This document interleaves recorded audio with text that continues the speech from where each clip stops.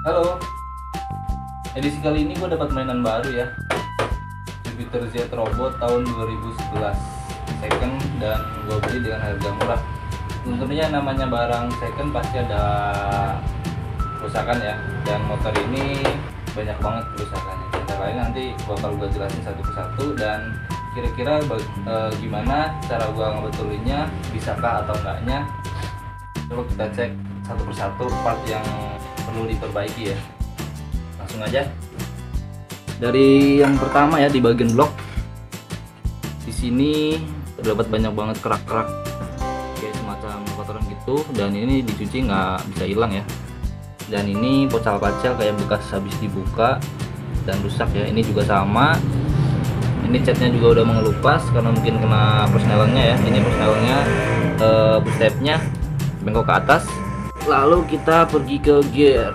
Oke ini lihat. Gearnya udah runcing banget. Dan rantainya juga kendor banget tuh udah berkarat juga. Ini mesti diganti. Lalu kita ke shock breaker. Ini bukan ori ya.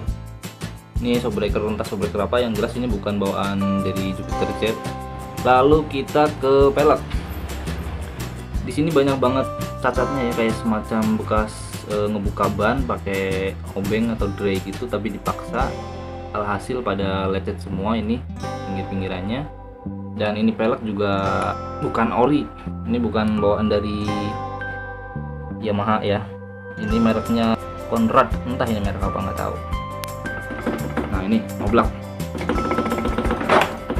Oblak ini laharnya entah itu lahar gear atau lahar dari peleknya nanti kita bongkar.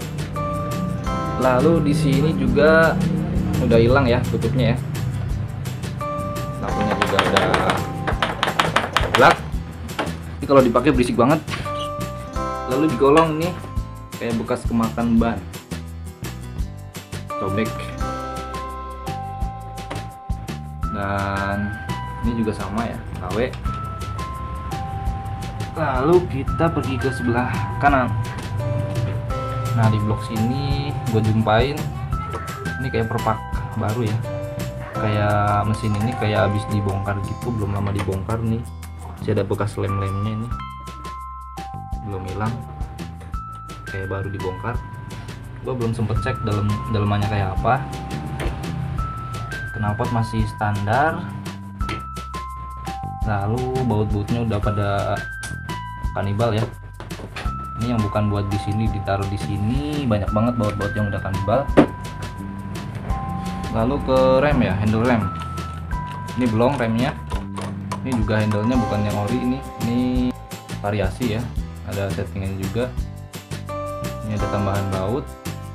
Dan kalau kita perhatikan di sebelah sini ini bocor ya. E, minyaknya minyak remnya itu keluar.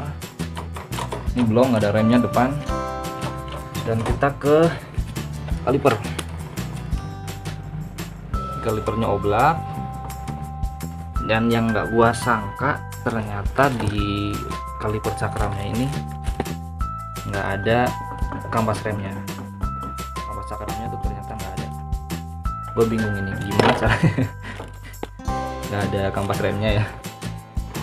Ini kayaknya feeling gue nih orang yang mau ganti nih kampas cakram entah ini bekas ganset atau apa dia mau ngebuka baut ini mungkin uh, kuncinya rusak atau kuncinya nggak ada dia paksa dia nggak bisa ngebuka akhirnya pada rusak ini udah nggak bisa dibuka susah.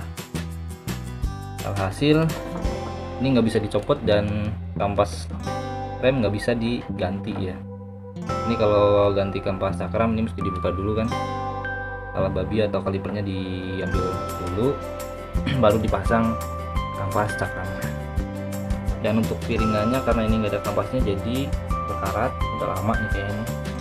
Berkarat semua. Lalu ini juga oblak. Sama ya. Lalu untuk pelek depan sama kayak belakang juga. Bukan ori mereknya juga sama. Conrad mereknya Conrad tuh. Entah merek apa ini dari mana. Ya namanya juga motor second. Lalu ke sektor mesin. Waduh ini banyak yang rembes ya bekas-bekas oli ini. Ini udah diganjal pakai ring miring miring miring juga. Entah maksudnya apa. Ini dari filter box filter keluar minyak entah minyak apa ini oli atau apa nggak tahu. Karburator kayaknya ini habis dibongkar juga nih tapi rembes nih. Rembes. Bensin ya keluar bautnya hilang. Nah ini kayaknya habis dibuka nih untuk lampnya gue sih uh, belum sempat ngebongkar nih motor kayak apa dalamannya nanti uh, next video gue perbaiki nih motor gue turunin mesinnya. Lalu ke reflektor. Ini udah pecah ya. Mungkin habis jatuh jadi ditambal pakai stiker untuk gasnya juga variasi. Uh, untuk kaki masih tapi nggak ngangkat ya. Stiker udah ngangkat. Kayak dinamo starternya nyala cuman dari gear gear starternya itu kayak nggak nyangkut gitu. Perlu dicek juga. Lalu untuk sen sen sebelah kanan nyala lalu tapi tidak kedip ya nggak kedip. Lalu sebelah kiri juga nyala tapi nggak kedip. Ini untuk lampu. Kosong sebelah.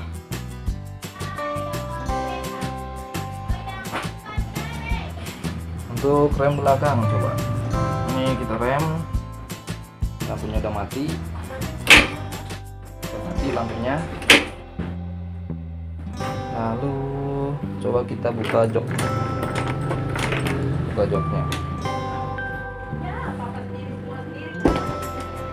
Ini patah ya? Patah. Oke kita bisa akalin juga sih. Bagian joknya.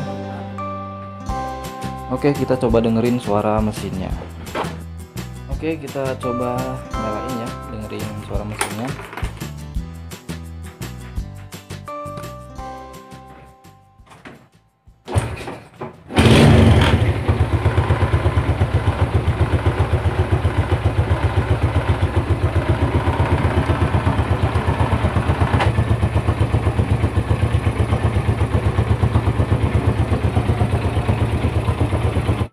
Suara mesin sih kalau langsam ya eh, halus. Cuman dia kayak ada semacam geredek gitu kayak apa ya? Nih coba gua gas ya. Kayak semacam stang sernya yang bunyi ya atau enggak mungkin bearing krek asnya. Atau bisa juga dari kampas ganda ya kampas gandanya mungkin ada di bagian itu yang rusak. Nanti kita bongkar dan nanti kita cek juga. Gua juga mau setting karbu juga mau gua bongkar. Seperti apa? Ini kalau dipakai buat jalan tuh kerasa banget. Redek-redek. Dan untuk emisinya sih knalpotnya dia nggak ngebul ya nggak ngebul kemungkinan aman tapi untuk bagian sini pokoknya antara stang seher kalau enggak kampas gandanya ya atau one way nya juga mungkin. Nanti kita coba bongkar kita cek.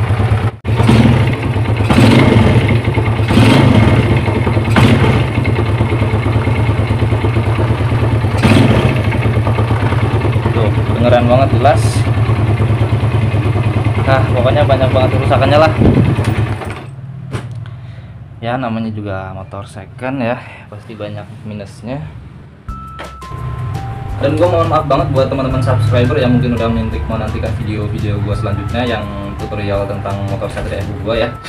Mungkin uh, next video gue bakal uh, bikin video tutorial tentang motor ini ya. Motor Jupiter Z Robot tahun 2011 dan gua mau bahas satu persatu nanti di dalam video gua tentang kerusakan apa terus gimana cara gua ngatasinya apakah perlu penggantian spare part atau cuma perlu di ulang.